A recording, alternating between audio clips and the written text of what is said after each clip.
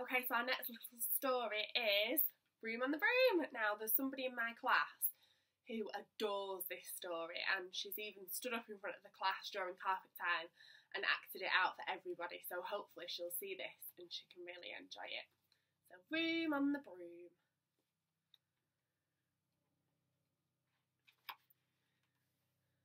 The witch had a cat and a very tall hat and long ginger hair that she wore in a plait. How the cat purred and how the witch grinned as they sat on their broomstick and flew through the wind. But how the witch wailed and how the cat spat when the wind blew so wildly it blew off her hat.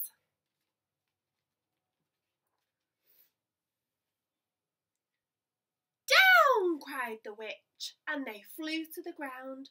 They searched for the hat, but no hat could be found.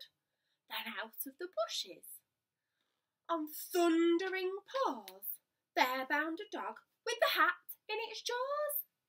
He dropped it politely and then eagerly said, as the witch pulled the hat firmly down on her head, I am a dog as keen as can be. Is there room on the broom for a dog like me? Yes, cried the witch, and the dog clambered on. The witch tapped the broomstick, and whoosh, they were gone. Over the fields and the forest they flew. The dog wagged his tail, and the stormy wind blew. The witch laughed aloud, but away blew the bow from her long ginger plait.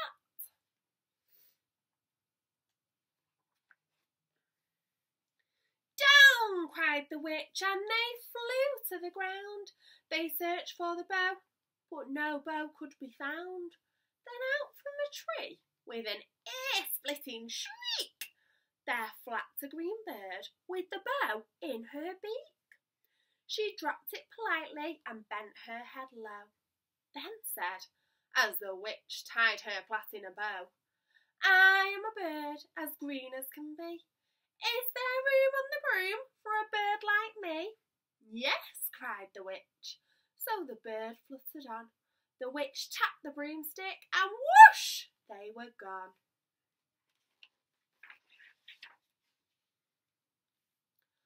Over the reeds and the rivers they flew, the bird shrieked with glee, and the stormy wind blew. They shot through the sky to the back of beyond. The witch clutched her, clutched her bow, but let go of her wand.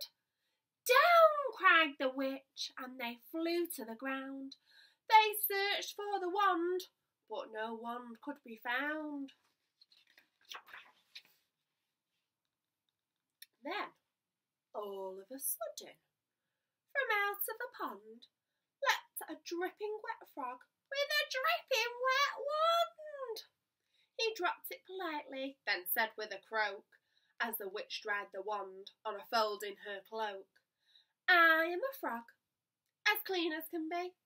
Is there room on the broom for a frog like me? Yes, said the witch. So the frog bounded on. The witch tapped the broomstick and whoosh! they were gone. Over the moors and the mountains they flew. The frog jumped for joy and the broom snapped in two. Down fell the cat and the dog and the frog. Down they went tumbling into a bog. The witch's half broomstick flew into a cloud and the witch heard a roar that was scary and loud. I am a dragon, as mean as can be, and I am planning to have witch and chips for my tea. No, cried the witch, flying higher and higher. The dragon flew after her, breathing out fire. Help! cried the witch, flying down to the ground. She looked all around, but no help could be found. The dragon drew nearer and licking his lips said, Maybe this once I'll have witch without chips.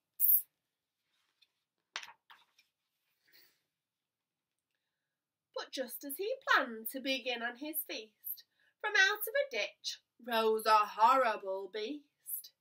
It was tall, dark, and sticky, and feathered and furred.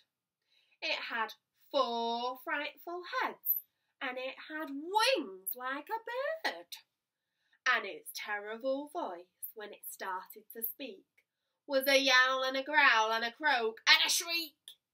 It dripped and it squelched as it strode from the ditch, and it said to the dragon, Buzz off! That's my witch!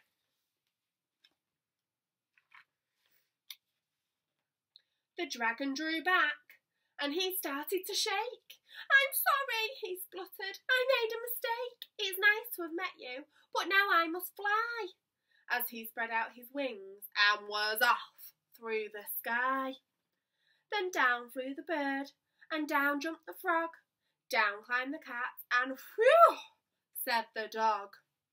And thank you, oh thank you, the grateful witch cried. Without you, I'd be in that dragon's inside. Then she filled up her cauldron and said with a grin, Find something, everyone, throw something in. So the frog found a lily, the cat found a cone, the bird found a twig, and the dog found a bone. They threw them all in, and the witch stirred them well, and while she was stirring, she muttered a spell. Iggity, ziggity, zaggity, zoom! Then out rose a truly magnificent broom, with seats for the witch and the cat and the dog, a nest for the bird, a shower for the frog. Yes, cried the witch, and they all clambered on. The witch tapped the broomstick, and whoosh, they were gone.